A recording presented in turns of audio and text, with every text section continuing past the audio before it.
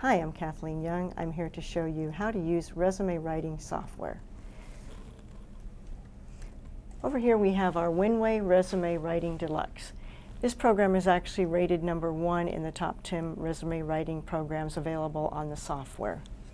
Here you'll see there's a simple resume format along with a letter, how to contact people, how to respond to them, how to even write and prepare your own envelopes.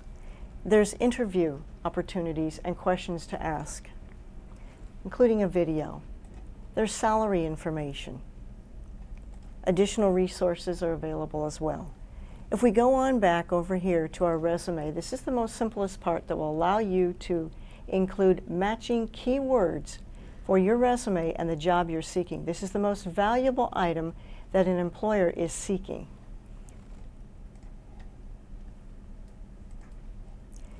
Simply click on the area and include, according to the easy user-friendly template, your name, such like that. Moving on over, clicking on your objective, adding in AutoWriter, allowing you to place in the name of your job title. Let's put in for simplicity, clerk. As a clerk, you have an option to look at numerous job titles. These include license clerk, adjustment clerk, storage clerk, things of that nature. Let's just click on one. Let's say you're still seeking to be employed as a mortgage clerk.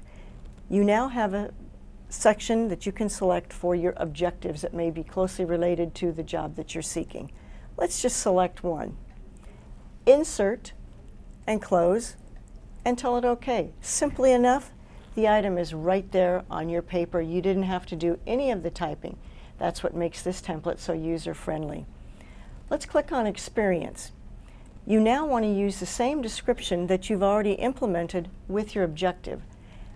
Here, you will now find all of the job duties, including the action verbs and again, those keywords that I mentioned that will be equivalent to the job that you're seeking.